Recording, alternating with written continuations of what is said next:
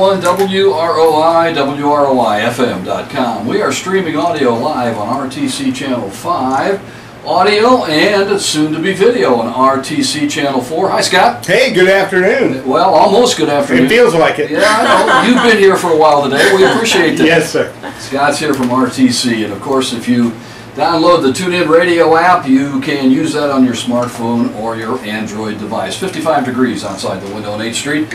Pleased to welcome to the studio this morning Dr. Sue Ellspermann, former Lieutenant Governor of the state of Indiana, and also Amy Rowe, Executive Director, Fulton County Chamber of Commerce. Ladies, welcome. Nice to have you here. Thanks for having us. It's great to be here, Tom. You are in Rochester today because Well, because Amy invited me to That's speak to these uh, women in business, their first ever uh, gathering and the beginning of a series to bring women business leaders together to Okay. see how we can strengthen the impact they have in this community and beyond.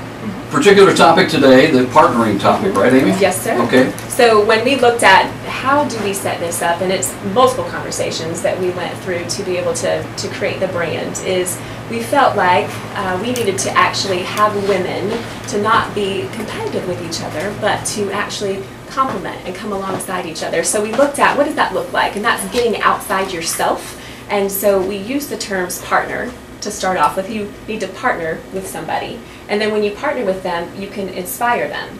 And when you inspire them, you empower them to be bigger and better than they could ever imagine. So we looked at that and we're intentional in creating, hopefully, a platform for bringing women in business and leadership together, not only the age that we are, but also young ladies to be able to support that. Um, It was very exciting to Yeah. see the uh, number of young women who had come from Rochester High School. And Excellent. We had some of the top young women in the junior and senior classes, and uh, important for them to see that this community supports them, wants them to come back and return and be a big part of the community. So thank you, Amy, for doing that. We Talk, had talk with them about your message this morning.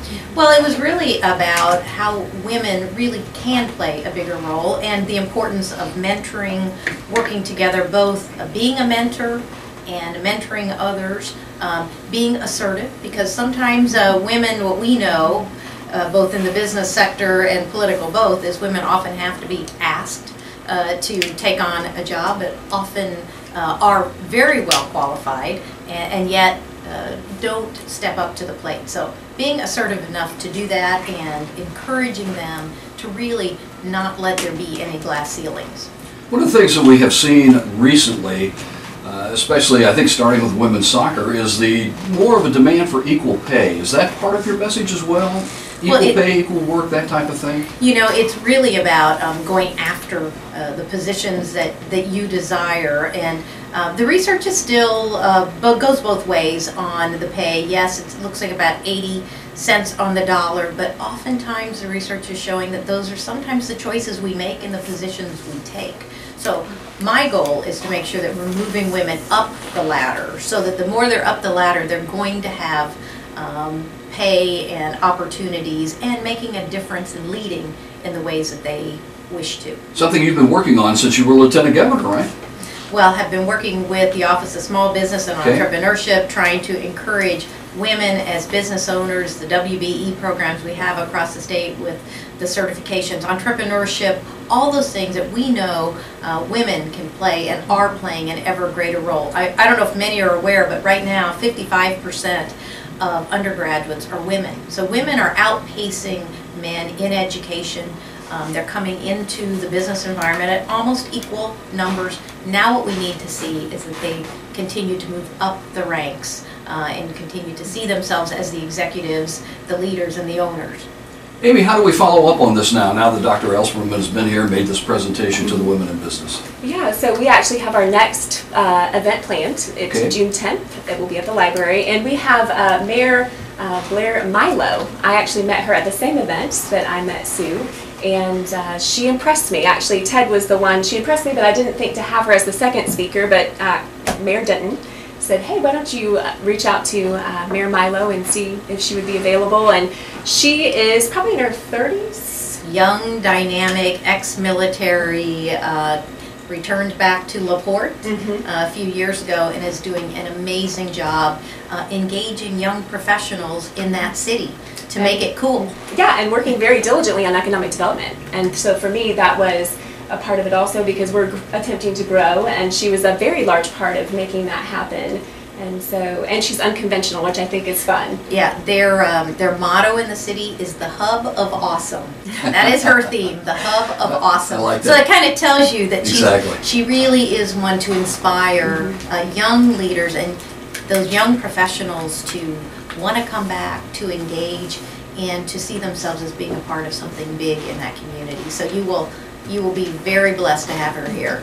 You are, of course, one of the candidates for the next presidency at Ivy Tech, Ivy Tech State College, and of course, that is a multitude of campuses throughout the state. I can see you taking the message that you've been talking about this morning to those Ivy Tech students. That would be part of it, right? Well, absolutely workforce development and making sure that every one of our Hoosiers, young as well as those incumbent workers who, who maybe need to skill up. Uh, Ivy Tech is such an important part of our state where we touch almost 200,000 Hoosiers a year with that opportunity to move up into a better job and meeting the needs of our employers. I think the thing that impressed me as Lieutenant Governor is I visited all 92 counties, employers across the state, and they all unanimously need that skilled workforce, and Ivy Tech's just a big part of that. So very proud of what it's doing for our state today and hope to be a part of that in the future.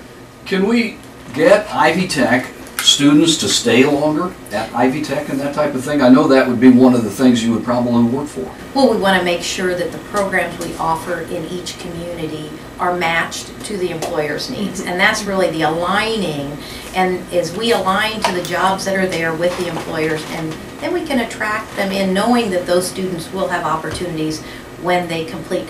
And many of those will want down the road to go on for a four-year degree or continue on with all of our other great institutions in the state. But uh, Ivy Tech plays a very key role. Dr. Sue Ellspermann is our guest. She's former lieutenant governor in Rochester today, along with Amy Rowe, executive director of the Fulton County Chamber of Commerce. What what is it like to be lieutenant governor? Well, I'm not anymore. You were one time. you know, it is a tremendous honor. Um, it, it's that being that number two chief executive in Indiana, it's a bigger role than in most states. In many states, it's simply you're number 2 Um, here, there are six agencies that you oversee, so we call that the family of business of the lieutenant governors. And overseeing agriculture, rural development, small business, uh, defense development, um, housing and community development, all of those were, what was neat about it, it was about building capacity in our communities, trying to help communities be everything they want it to be. So all those programs helped shore up. We weren't a regulatory, we weren't regulatory agencies, we were about how do we help you grow. Uh, so it was a great way to see the state. Um, I, I am so honored to have gotten to be a part of the bicentennial planning and so many of the initiatives that really show the best of our Hoosier state. And that's really the memories that, that I will take back from that are, are ones that I'll treasure forever. Agriculture, a big part of our community, also a big part of the state of Indiana. You worked on that. And it has uh, been increasing. I, I know the, the week after I left, I think we made three announcements of new agriculture-related businesses the following, and you know, knowing that the things I think we did the last three years, and, and which Lieutenant Governor Eric Holcomb is doing a great job continuing as we move forward, and, and he'll bring an, another whole level of energy. But ag is such an opportunity for Indiana, not only to be strong as it is today, but to be stronger and more in the innovation arena. So I'm very proud of what we've done in the agribusiness area and standing up Agrinovus Indiana, which will really be a game changer. If we know about North Carolina's Research Triangle Park, this is really the initiative that can do that in agriculture, building off Purdue and the great ag resources we have. Governor Daniels will travel quite a bit, Governor Pence has a bit as well, to other countries to see if we could partner with the state of Indiana. Is that something that will work for our state? Absolutely. Um, I did two trade missions uh, over those three years to Asia primarily, China, South Korea, Japan, Taiwan. There are tremendous opportunities across the board, but agriculture as well. If you think about China where they can't feed a billion people and their methods of agriculture aren't where ours are today. There's many opportunities. Of course, many of these things have trade issues that are not negotiated at the state level. However, what we can do is really leverage our universities like Purdue and create the business-to-business relationships because all of Asia needs to figure out how do they feed in a healthy way uh, that, um, that citizen population they have. Africa follows right along.